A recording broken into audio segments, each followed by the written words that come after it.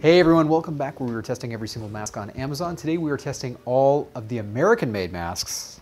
Excited to look at California Health Technology. Let's put it in the clamper and see what we get. All right. Ooh, nice. It's a black mask, looks good. Let's let it rip. This is a PFE machine particulate filtration efficiency. Check out the other video if you want to find out more about that. All right. I have not heard of these guys either, which is interesting. Made in the USA, kind of like the logo. Box isn't soft touch. It's the least soft touch box I've ever seen. That's not true. Uh, you can go to their website, uh, chtus.com. We protect the health of people with care and innovation. Uh, seems to be one of these guys that stood up in the middle of the pandemic as well. There's really not a lot about them on their website, um, but they seem pretty legit. We bought these on Amazon, of course. They're black masks. Looking at the box, it says BFE, uh, 95%. Again, BFE is not an important marker uh, for COVID. The bacteria is huge.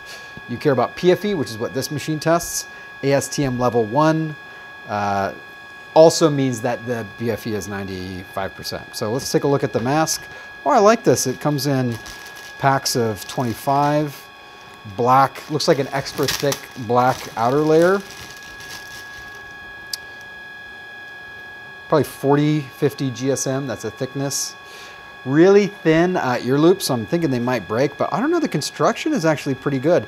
I will ding them five points for the, the fact that they're putting the ear loops on the inside. You want the ear loops to be um, molded on the outside. And the reason for that is you're gonna get more of a gap if it's affixed on the inside. You want it to pull from the outside, it's gonna pull better. The nose wire is actually very, very small. Uh, it's because the fabric's so thick, it's, it's really hard to get a good seal, um, which means if you're wearing glasses, it's gonna fog up a little bit, probably.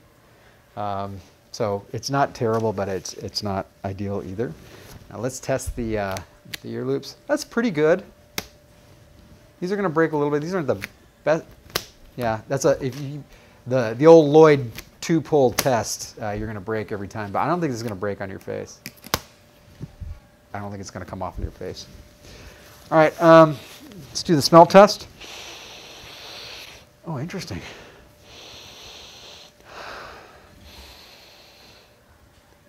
I, it smells like nothing. That's the smell. Nothing. Wow. I, maybe, maybe I have COVID. Can we make that joke yet? Um, I literally don't smell a thing on this mask. That's incredible. All right, good job on that, guys. 25 points. Breathability is pretty good, 84.90.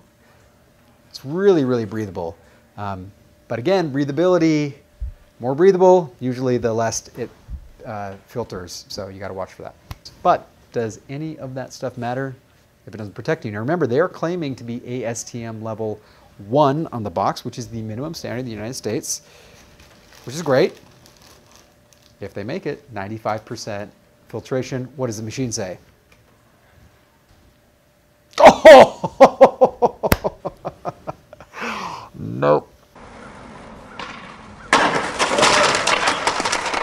Nope. Nope, nope. 86.214. 86.214. Way off. That is not ASTM level 1. ASTM level 1, again, minimum is 95%. So I would not recommend this mask. I've not heard of these guys either, which is kind of weird. Again, like uh, there's about four or five folks in here um, that I've never heard of before. And we, you know, us mask manufacturers stick together. Um, so it's kind of weird that I haven't heard of them. Um, probably a small operation that, uh, you know, isn't really watching their numbers. All right. Thank you guys very much for watching. I really appreciate it. Uh, if you like this, would love a like or subscribe. Or not, you know, you could steal my dog, punch him in the face. I don't have a dog, so that wouldn't be possible. Catch you on the next test.